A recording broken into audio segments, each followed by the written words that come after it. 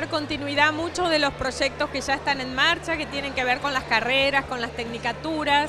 Estamos teniendo una gran demanda y muy buena respuesta social de 17 provincias con la tecnicatura en lengua de señas.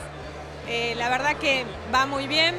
pero además, bueno, me parece que por el contexto nacional, provincial y las cuestiones sociales, la Facultad de Trabajo Social va a tener más que nunca que estar muy cerca de las problemáticas sociales, políticas, culturales, económicas y con muy fuerte relación con distintas organizaciones, ya sea públicas, estatales eh, y organizaciones civiles. Son momentos en los que se abre un desafío importante y afortunadamente nos encuentra la comunidad universitaria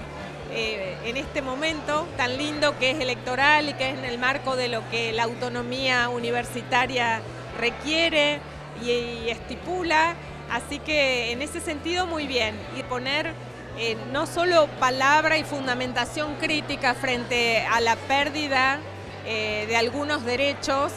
sino seguir trabajando por la igualdad de derechos, por la redistribución de la riqueza, por condiciones de vida que nosotros sabemos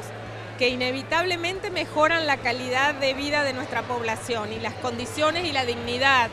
de vida. Entonces, eh, bueno, en ese sentido tenemos un fuerte compromiso que arrastramos históricamente de la facultad, así que eh, nos esperan tiempos de mucho trabajo, también de mucho compromiso, pero con mucho entusiasmo.